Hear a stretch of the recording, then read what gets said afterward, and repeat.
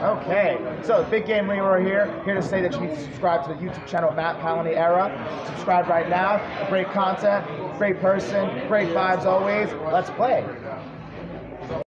Who is ready for WWE Bad Blood 2024? I know I am.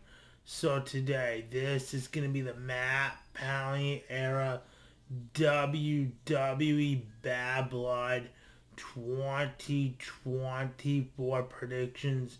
So here we go. We have WWE Women's Champion Nia Jax versus Bayley. The match I pick is to still be WWE Women's Champion Nia Jax. Now we have Cody Rhodes and Roman Reigns versus Solo Sikoa and Jacob Fatu. In the match I pick is Cody Rhodes and Roman Reigns.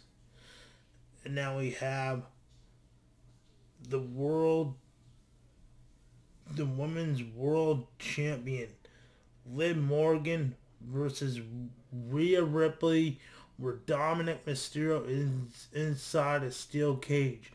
In the match that I pick is to crown the new Women's World Champion, Rhea Ripley. Now I have Damian Priest versus Finn Balor. In the match that I pick is Damian Priest. Now we have CM Punk versus Drew McIntyre in a Hell in a Cell. In the match that I pick is CM Punk. So guys, hope you all enjoy WWE Bad Blood like I will tonight. Hope you all enjoy my WWE Bad Blood 2024 predictions. Hope you all enjoyed it. So guys, once again, please like this video, leave a comment, and subscribe. Peace out, guys. See happy Saturday. Enjoy your Saturday too, guys.